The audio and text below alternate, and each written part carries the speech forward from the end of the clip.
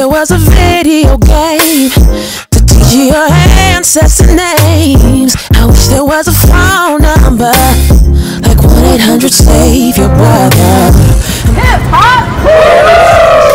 Hey! What are you expecting to get out of the college tour at the museum today? To learn more about history. To learn more about your history? Yes.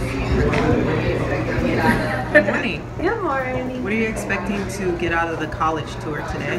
Um, just to get educated, I guess. Um, maybe the college is like a future college that I might want to go to. I don't know. So, yeah. Nice. Very honored to be here. My god sister went to Howard, so I'm very honored to see how everything is going there.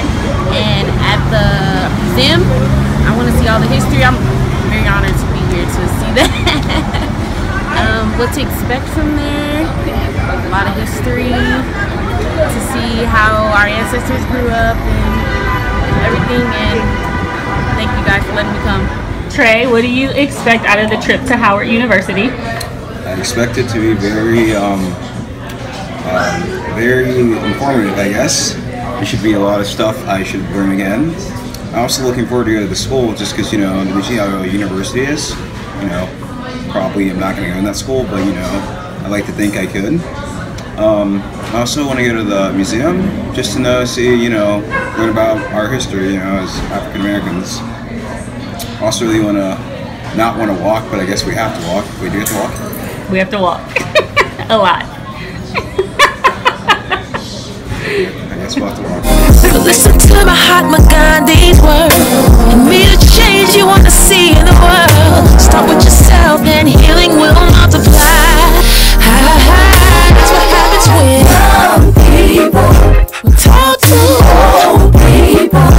Would make better people around. Yes, would. If old people would talk to young people, people,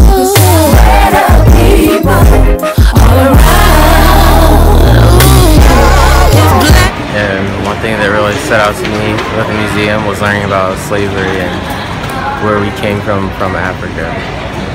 Yeah. Did you enjoy yourself? Mhm. What, what emotion did it bring you on? Shock, just to see that's how, how it was and what we went through. Hi, my name is Candace. Um, what stood out to me from the African American Museum was that there were more slaves that had died than actually got here on the in the Middle Passage, um, and I was kind of crying. My favorite part of the museum was like after we in that bad situation, they had like the area where you could do the step, and so it was cool to see like how even though we've been through so much, like we've been able to come out of that with like our culture, and so seeing everybody like be able to be happy again through stepping or like music and cheering and stuff as a group as a whole. Information that you can only get in conversation with young people. Um, most of the museum was touching, but the two most touching parts of the museum were the elevator and how like when you got on, it started like from like now and then it went all the way down, and it was just like had everybody shook. Like we were all like, oh my god. And then the Emmett Till um, exhibit, it was really touching to see like his mom talk about it and how she was so like strong about it, and like seeing his casket, and like all it was just a lot, but it was great. Def- my favorite part of the museum was definitely the Emmett Till section that they had because they had his grave and they fixed it up to make it all nice and pretty. And then they had the video of um, his story, so that was pretty cool to see. And I almost cried. that was the part that I really almost cried at. We were at the museum. I got a lot of history and I saw that, I noticed that as you went down, there's a lot of stuff that we don't see in our history books. So it was just cool to learn about all the stuff that I don't get to learn in school. They say every generation gets worse. tour to Howard, I felt like um, it was kind of enlightening, really, to show that um, the school can have so many things and you can be a part of so many activities, yet still um, maintain good good grades, which was shown through a lot of people. What did you think about the Howard University tour? I mean, it was lit. As a senior, I got to see a different. I've been in high school for so long, so I got to see a different school and a different environment, different people, different um, ethnicities, and different stuff like that. So I would really apply there. I, I'm actually thinking about applying there, so yeah. And what was your favorite part of the museum? My favorite part of the museum was also the Emmett Till story because you kind of and with that story you kind of have to like put yourself in his mom's shoes like how would you feel if you got a call saying your child's dead because of false accusations like you would be like just as confused as his mom was and you would want people to see the real of what other people do to people's kids Dramatic people all around. Gonna wake up in glory. Chaperone Shay, you ready? You're not ready? First of all, you got the baby one. That's for kids. I know. I was trying to figure out why I was so small. Chaperone Shonda, you ready? Chaperone Sprang, Chaperone Mitch. uh, have fun. There was a phone number, like 1 800 Save Your Brother. I'm thankful for the radio station, not afraid to put the truth in rotation. I'm washing my pits. I'm washing my pits. I'm washing my pits. What you got? I'm smelling your pits. I'm smelling your pits. I'm smelling your pits. Hey, what you got? I'm putting on my skirt. Putting on my skirt. Putting on my skirt. What you got?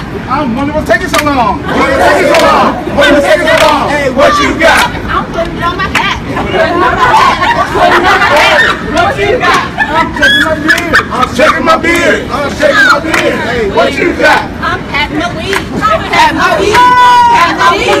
What you got? I'm greasing my hair. I'm greasing my hair. Hair? Greasing my hair. What you got? You ain't got no hair. You ain't got no hair. You ain't got no hair.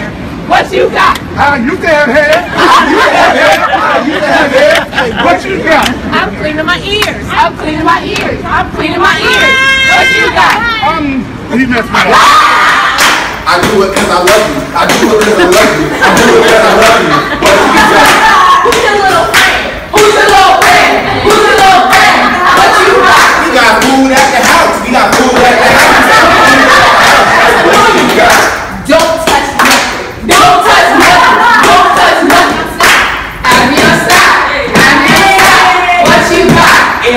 Watching the tweet. The tweet. Like